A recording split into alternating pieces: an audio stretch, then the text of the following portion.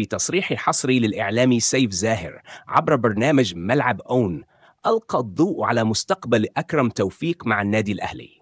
زاهر أكد أن اللاعب خارج حسابات مارسيل كولر بنسبة 100% مشيرا إلى توتر العلاقة بينهما.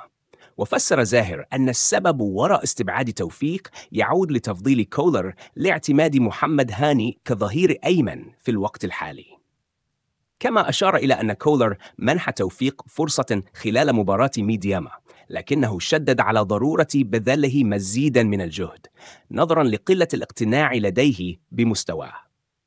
وأوضح زاهر أن كولر كان مرحبا برحيل توفيق في الميركاتو الشتوي الماضي.